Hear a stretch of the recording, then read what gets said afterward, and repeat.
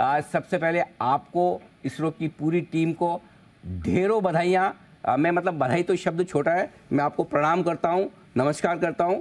Sir जो पल आपने हिंदुस्तान को दिए पूरे विश्व को दिए उसकी जितनी तारीफ़ की जाए कम है। सर बहुत बहुत बधाई। Thank you thank you so much for your greetings sir अब ये बताएँ कि जिस वक्त सॉफ्ट लैंडिंग हुई चाँद पर सबसे पहले उस वक्त आपकी फीलिंग्स क्या थी? राहत की सांस ली, खुशी के पल थे, क्या महसूस किया आपने? हम जो जो चाहा वह हुआ तो इसलिए हम बहुत खुशी हुआ और सब एक्साइटेड है। इसके बाद हम तो जो सीख रहे हैं कि हम जो जो एक्सपेरिमेंट करना चाहता है, कि उसे कर सकें। तो यही हमारा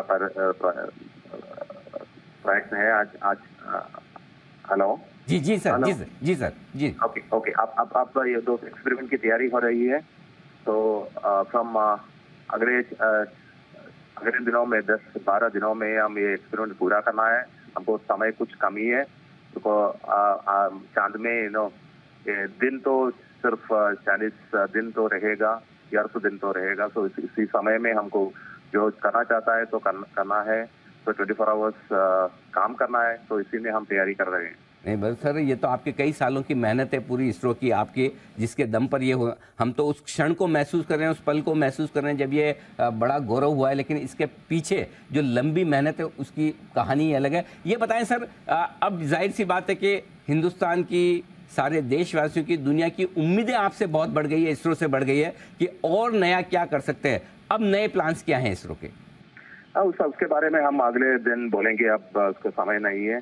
अच्छा इसके बारे में कुछ तो ऑनरेबल प्रधानमंत्री ने बोला था ना मिशन आदित्य के बारे में गगनयान के बारे में तो इसी में हम काम करते रहते हैं। जी।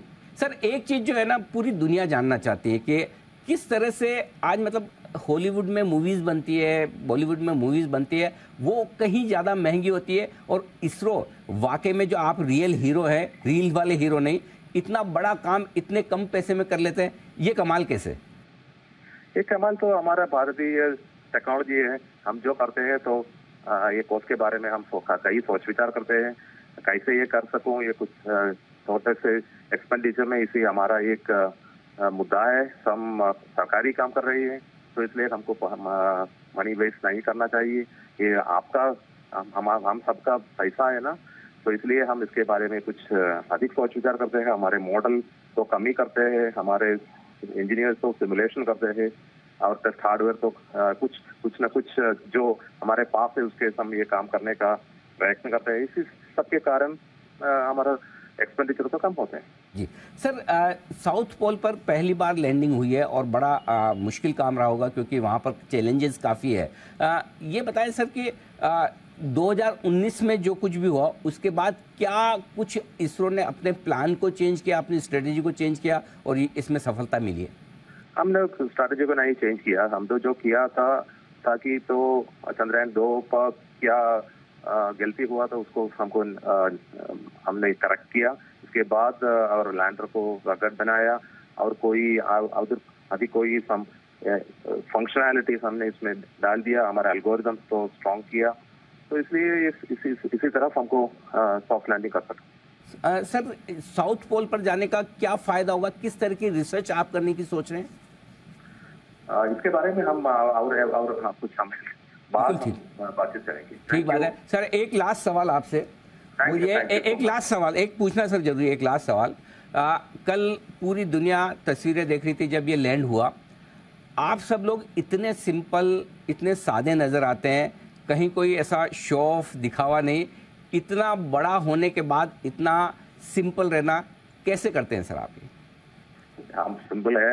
हम सभी लोग जो इसरो में काम करते हैं, सरकारी लोग हैं तो हम तो इंस्पायर्ड है हमको और नेशन के लिए काम करने की तो इच्छा है। तो जो हमारे साथ है, वो सब इस, ये सिर्फ़ एक आइडिया में जुड़ा है। तो इसलिए हम तो सिंपल सी रहना रहे बहुत बहुत धन्यवाद सर आपको। सैल्यूट है सलाम है प्रणाम है। जो कुछ आपने किया है देश का सीना आपने गर्व से चौड़ा किया है नाम किया है पूरा हिंदुस्तान का पूरी दुनिया में। बहुत बहुत बधाई सर आपको और आपकी पूरी टीम को। Thank you thank you so much